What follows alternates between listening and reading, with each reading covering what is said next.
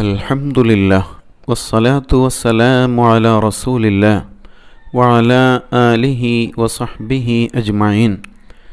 أعوذ بالله من الشيطان الرجيم. بسم الله الرحمن الرحيم. ربنا لا تزغ قلوبنا بعد إذ هديتنا وهب لنا من لدنك رحمة إنك أنت الوهاب സ്നേഹമുള്ളവരെ അസ്സലാമു അലൈക്കും വറഹ്മത്തുള്ള പടച്ച തമ്പുരാൻ നമ്മെ അനുഗ്രഹിക്കുമാറാവട്ടെ ഒരുപാട് നാളുകൾ പ്രാർത്ഥിച്ച് പ്രാർത്ഥിച്ച് ഒടുവിൽ നമ്മിലേക്ക് വിരുന്നെത്തിയ ആ അതിഥി യാത്രയാവുകയാണ്. അടുത്ത വരവിനായി പ്രതീക്ഷയോടെ നമുക്കിനിയും കാത്തിരിക്കാം. എന്നാൽ അവശേഷിക്കുന്ന അനർഘ നിമിഷങ്ങളുണ്ടല്ലോ. ആ നിമിഷങ്ങൾ നന്മയുടെ ആഘോഷമാക്കി മാറ്റാം. റമലാൻ എന്ന അതിഥി വന്നപ്പോൾ ആതിഥേയരായ നമ്മൾ ആകെ മാറിപ്പോയിരിക്കുന്നു. നമ്മുടെ ദിനചര്യകൾ നിലപാടുകൾ പ്രാർത്ഥനകൾ ദൈവബോധം എല്ലാത്തിലും നവോന്മേഷം കൈവന്നിരിക്കുന്നു. എല്ലാ നോമ്പുകളും അനുഷ്ഠിച്ച് ക്ഷീണിച്ച് അവശരായിട്ടും രാത്രി നേരങ്ങളിൽ നിന്ന് നമസ്കരിച്ച് വിശുദ്ധ ഖുർആാനുമായി അടുപ്പം വർദ്ധിപ്പിച്ച് ദാനധർമ്മങ്ങളിൽ സജീവമായി ആത്മപരിശോധന നടത്തി. അങ്ങനെ നമ്മൾ ശരിക്കും ഒരു പുതുജന്മമെടുത്തില്ലേ? നാം നമ്മെ തന്നെ അത്ഭുതപ്പെടുത്തുകയാണ്. അല്ലെങ്കിൽ നമുക്ക് നമ്മെക്കുറിച്ച് തന്നെ അത്ഭുതം തോന്നുകയാണ്. ആ ഞാൻ തന്നെയാണോ ഇത്? റമദാനിന് മുമ്പുള്ള ഞാൻ തന്നെയാണോ ഇത് എന്ന്.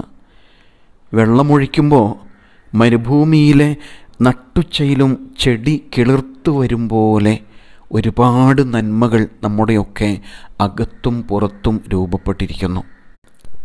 അൽഹമുല്ല നേടിയ നന്മകളെക്കുറിച്ച് നമുക്ക് തികഞ്ഞ സംതൃപ്തിയുണ്ട്. എന്നാൽ ഈ നന്മകൾ നിലനിർത്തുന്നതിനെക്കുറിച്ചോ ഭാവി ജീവിതത്തിൽ ജീവിതത്തോട് ഇവയെ ചേർത്ത് പിടിക്കുന്നതിനെക്കുറിച്ച് പലപ്പോഴും ആശങ്കകൾ തന്നെയാണ് അല്ലേ? കാരണം കഴിഞ്ഞ കാല ജീവിതം അങ്ങനെയൊക്കെയാണ് നമ്മോട് പറയുന്നത്. എന്തൊക്കെ തീരുമാനങ്ങൾ എടുത്തതാണ്? എത്രയെത്ര പ്രാർത്ഥിച്ച് കഴിച്ചു കൂട്ടിയതാണ്?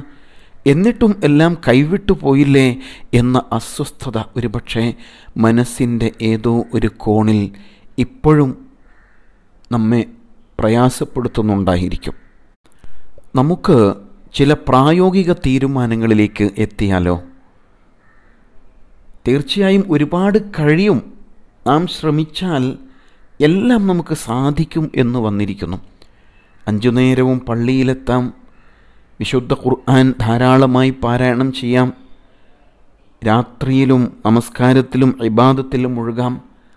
എന്നിട്ടും നമ്മുടെ ദൈനംദിന ജീവിതത്തിലെ പ്രവർത്തനങ്ങൾക്ക് ജോലിയും കച്ചവടവും വീടുമായി ബന്ധപ്പെട്ട ബാധ്യതകളും നിർവഹിക്കുന്നതിൽ ഒരു പോരായ്മയും സംഭവിച്ചില്ലല്ലോ.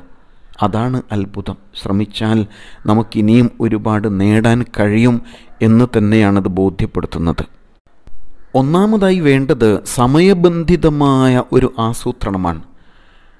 പതിനൊന്ന് മാസം എങ്ങനെ തിന്മകളിൽ നിന്ന് വിട്ടുനിൽക്കും പതിനൊന്ന് മാസം തെറ്റുകൾ സംഭവിക്കാതെ ഒരാൾക്ക് എങ്ങനെ ജീവിക്കാൻ കഴിയും? എന്ന ആലോചന തന്നെ നമ്മെ വല്ലാതെ ആശങ്കയിലാഴ്ത്തുന്നുണ്ട്. അങ്ങനെ ചിന്തിക്കേണ്ടതില്ല. റസൂലുല്ലാഹി സല്ലാഹു അലഹി വസ്ല്ലം അതിന് ഒരു ഷെഡ്യൂൾ പഠിപ്പിക്കുന്നുണ്ട്. അതിൽ ഒന്നാമത്തേത് അഞ്ച് നേരത്തെ നമസ്കാരമാണ്.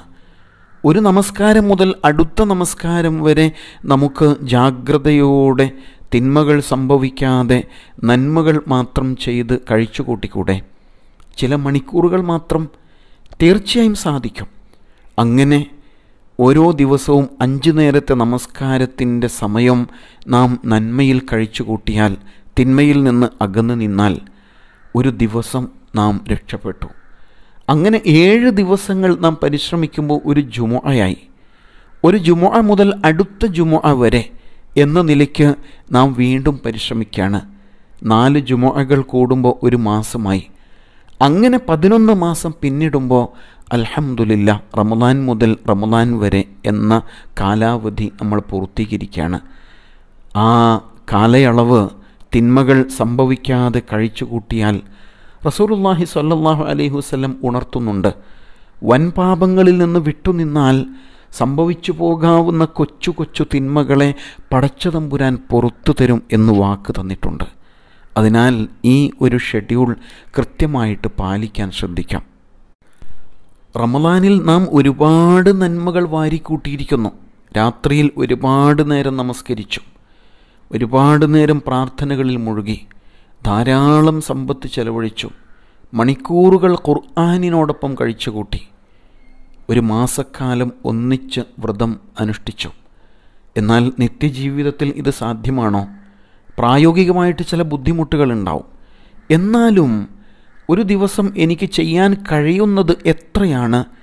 അതിലേറ്റവും മിനിമം ആയാലും പതിവായിട്ട് അവ അനുഷ്ഠിക്കുമ്പോൾ അതിന് ഏറെ ശ്രേഷ്ഠതയുണ്ട്. അഞ്ചു നേരത്തെ നമസ്കാരത്തിൽ ഏതായാലും കുറവ് വരുത്താൻ പറ്റില്ല. അതേ സമയത്ത് രാത്രികാലങ്ങളിൽ നമ്മൾ അനുഷ്ഠിച്ചു കൊണ്ടിരിക്കുന്ന സുന്നത്ത് നമസ്കാരങ്ങളുണ്ടല്ലോ അവയുടെ എണ്ണം വേണമെങ്കിൽ അല്പം കുറയ്ക്കാം. എന്നാലും രാത്രി നമസ്കാരം ഖിയാമുല്ലയിൽ അല്ലെങ്കിൽ ഉറങ്ങി എഴുന്നേറ്റുള്ള നമസ്കാരം വിത്ര നമസ്കാരം അതിൽ ഏറ്റവും കുറഞ്ഞത് നിലനിർത്തുവാൻ ഞാൻ തീരുമാനിക്കുന്നു എന്ന ഒരു ദൃഢ നിശ്ചയത്തിലേക്ക് നമുക്ക് എത്തിക്കൂടെ? നേടിയെടുത്ത നന്മകൾ അല്പമാണെങ്കിൽ പോലും നിലനിർത്താൻ സാധിക്കുക എന്നത് വളരെ പ്രധാനമാണ്. ഇതേപോലെ ഖുർആൻ ധാരാളമായി പാരായണം ചെയ്തു. അതിൽ നിന്ന് നമുക്കൊരു ദിവസം ഒന്നോ രണ്ടോ പേജ് പാരായണം ചെയ്യാൻ തീരുമാനിച്ചുകൂടെ? അതിൽ ഒരു ആയത്തിന്റെ അർത്ഥവും ആശയവും പഠിച്ചുകൂടെ? എങ്കിൽ തന്നെ ഒരു വർഷം കൊണ്ട് മുന്നൂറ്റി അറുപത് സൂക്തങ്ങൾ നമുക്ക് അർത്ഥം ഗ്രഹിക്കാൻ സാധിക്കില്ലേ? ഒന്നുകൂടി മനസ്സ് വെച്ചാൽ അത്രയും സൂക്തങ്ങൾ മനഃപ്പാഠമാക്കാനും കഴിയില്ലേ? തീർച്ചയായും കഴിയും. ജക്കാത്തായും ഐച്ഛിക ദാനമായും ഒരുപാട് സമ്പത്ത് ചെലവഴിച്ചു. എപ്പോഴും അത് സാധിക്കണമെന്നില്ല. എന്നാൽ ഓരോ ദിവസവും നിശ്ചിതമായ ഒരു തുക എത്ര ചെറുതാണെങ്കിലും നമുക്ക് ദാനമായി നൽകിക്കൂടെ? കഴിയും തീർച്ചയായും. ഇങ്ങനെ റമദാനിന് ശേഷമുള്ള ഒരു ഷെഡ്യൂൾ ഇപ്പോൾ തന്നെ തയ്യാറാക്കേണ്ടിയിരിക്കുന്നു. റമദാനിലെ നന്മകൾ പെരുന്നാളാഘോഷത്തോടെ കെട്ടുപൊട്ടിപ്പോകാനുള്ളതല്ല. പെരുന്നാൾ സുദിനത്തിൽ തന്നെ കൃത്യസമയത്തുള്ള നമസ്കാരം പലർക്കും നഷ്ടപ്പെട്ടു പോവുകയാണ് ആഘോഷത്തിന്റെ തിരക്കിൽ. അങ്ങനെ ഒരു ആഘോഷം നമുക്കില്ലല്ലോ. തീർച്ചയായും അത് ഇബാദത്താക്കി മാറ്റാൻ നമുക്ക് സാധിക്കേണ്ടതുണ്ട്. ഇസ്ലാമിക വിഷയങ്ങളെക്കുറിച്ചുള്ള അന്വേഷണവും പഠനവും തുടരേണ്ടതുണ്ട്. ഖുർആാനിക വിഷയങ്ങളെക്കുറിച്ച് അതുപോലെ പ്രവാചക ചരിത്രത്തെക്കുറിച്ച് ഇസ്ലാമിക സമൂഹത്തിന്റെ ഉന്നമനത്തിന്റെയും വികാസത്തിന്റേതുമായ കഴിഞ്ഞുപോയ നാളുകളെക്കുറിച്ച് കൃത്യമായ അവബോധമുണ്ടാക്കുന്ന പഠനങ്ങൾ നമുക്ക് നടത്തിക്കൊണ്ടേയിരിക്കണം. കൊച്ചു കൊച്ചു തിന്മകളെ നിസ്സാരമാക്കാതിരിക്കണം. അതേപോലെ തന്നെ ചെറിയ നന്മകളെ കൈവിടാതിരിക്കണം.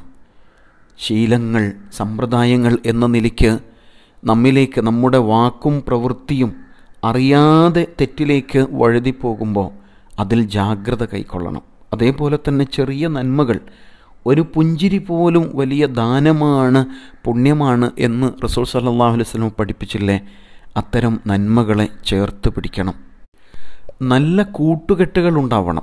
പള്ളിയിൽ എഴുത്തിക്കാഫിൽ കഴിച്ചു കൂട്ടിയപ്പോൾ നമസ്കാരത്തിന് വേണ്ടി ഒത്തുചേർന്നപ്പോൾ ഒരുപാട് നല്ല മനുഷ്യരെ നാം പരിചയപ്പെട്ടിരിക്കും. ആ ബന്ധങ്ങൾ നിലനിർത്തുവാൻ ഈ സമയത്ത് അവരുടെ ഫോൺ നമ്പർ കലക്ട് ചെയ്യണം. എന്നിട്ട് പള്ളിയിൽ വെച്ച് നമ്മൾ പരിചയപ്പെട്ടിരുന്നല്ലോ എന്ന് പറഞ്ഞ് ആ നന്മകളുടെ ഓർമ്മകളിൽ നമുക്ക് വരും ജീവിതത്തെ ധന്യമാക്കണം. ജീവിതത്തെ നല്ല സാഹചര്യങ്ങളൊക്കെ പറിച്ചു നടണം. റമദാനിന് മുമ്പുണ്ടായിരുന്ന ഒരുപക്ഷെ ചീത്ത കൂട്ടുകെട്ടുകൾ അവയിൽ നിന്നെല്ലാം മാറി ഞാനൊരു പുതിയ മനുഷ്യനായിരിക്കുന്നു എന്ന് അവരെ ബോധ്യപ്പെടുത്തുകയും അവരെ കൂടി നന്മയിലേക്ക് ചേർത്ത് പിടിക്കുകയും ചെയ്യണം. അതേപോലെ സാമൂഹികമായ ഇടപെടലുകൾ സാമൂഹ്യ പ്രവർത്തനങ്ങൾ അവശരായ ആളുകളോട് ചേർന്ന് നിൽക്കൽ ഈ നിലയ്ക്ക് ജീവിതത്തെ മുന്നോട്ട് കൊണ്ടുപോകുമ്പോൾ മനസ്സ് സ്വയം തന്നെ ശുദ്ധീകരിക്കപ്പെട്ടുകൊണ്ടേയിരിക്കും. പ്രാർത്ഥനകൾ വർദ്ധിപ്പിക്കണം. യാ മുഖല്ലിബൽ ഖുലൂബ്. ഹൃദയങ്ങളെ മാറ്റിമറിക്കുന്നവനെ സബിത് കൽബി അലാ ദീനിക് എന്റെ ഹൃദയത്തെ നിന്റെ ദീനിൽ ഉറപ്പിച്ചു നിർത്തേണമേ എന്ന പ്രാർത്ഥന വളരെ പ്രധാനമാണ്. ഖുർആാനിൽ സൂറ ആലി ഇമ്രാനിൽ എട്ടാമത്തെ സൂക്തം വളരെ മഹത്തരമായൊരു പ്രാർത്ഥനയാണല്ലോ. റബ്ബന ഞങ്ങളുടെ നാഥ ലാ തുസ്യ കുലൂബന ഞങ്ങളുടെ ഹൃദയങ്ങളെ വക്രതയിൽ അകപ്പെടുത്തരുതേ ബഅദ ഇത് നീ തന്നെ അതിന് സന്മാർഗം കാണിച്ചതിന് ശേഷം വഹബ് ലന ഞങ്ങൾക്ക് നീ നൽകേണമേ. മില്ലതുങ്ക റഹ്മ നിന്റെ പക്കൽ നിന്നുള്ള കാരുണ്യത്തെ ഞങ്ങൾക്ക് നീ നൽകേണമേ. ഇന്നക്ക അന്തൽ വഹാബ് നീ ഒരുപാട് അനുഗ്രഹങ്ങൾ വാരിക്കോരി നൽകുന്നവനല്ലോ. ഈ പ്രാർത്ഥന മനസ്സിന്റെ മന്ത്രവും നിലപാടുകളിലെ കൃത്യമായ കാഴ്ചപ്പാടുമായിട്ട് മാറേണ്ടതുണ്ട്. എങ്കിൽ അള്ളാഹു കൂടെയുണ്ടാവും ഉറപ്പാണ്. യാതൊരു അസ്വസ്ഥതയുമില്ലാതെ ആത്മവിശ്വാസത്തോടെ നമുക്ക് നന്മയുടെ സ്വർഗത്തിന്റെ വഴിയിൽ മുന്നേറിക്കൊണ്ടേയിരിക്കാം. റമദാൻ എന്ന ആ ഒരു മാസക്കാലം സാങ്കേതികമായിട്ട് നമ്മിൽ നിന്ന് വിട പറയുകയാണ്. പക്ഷേ റമദാൻ നമ്മിൽ നിക്ഷേപിച്ച നന്മകൾ ഒരിക്കലും വിട പറയുന്നില്ല. നന്മകളെ വിട പറയാൻ നാം അനുവദിക്കുന്നുമില്ല. പടച്ചവനെ നേടിയെടുത്ത നന്മകൾ നിലനിർത്തുവാൻ ഞങ്ങൾക്ക് നീ തുണയാകണേ നാഥ. ജീവിതത്തിന്റെ വഴിയോരങ്ങളിൽ തെറ്റുകുറ്റങ്ങളിൽ നിന്ന് സുരക്ഷിതമായി എല്ലാ ഊടുവഴികളിൽ നിന്നും വഴിമാറി സ്വർഗത്തിലേക്കുള്ള രാജപാതയിൽ നന്മയിലേക്കുള്ള വഴികളിലൂടെ സഞ്ചരിക്കുവാൻ ഞങ്ങളെ അനുഗ്രഹിക്കണേ റബ്ബേ. വ أن الحمد لله رب العالمين. السلام عليكم ورحمة الله.